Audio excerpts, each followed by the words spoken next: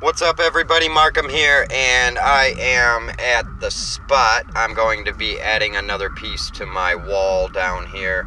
Uh, Bob Seger is what we're doing tonight, and he found his home over on the west side last night, but uh, this is where I put all the stencils together in one spot on one wall, and that's what we're doing here tonight. I'm going to do my best to uh, get my headgear together and get a shot of it. Um, if I can while I'm doing it. If not, I'll definitely get a shot afterwards, so stay tuned for that. And if I am unable to get it while I'm doing it, I do apologize, but I do appreciate all your love and support.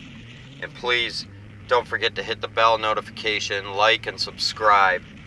And uh, let's get to it. I will be back.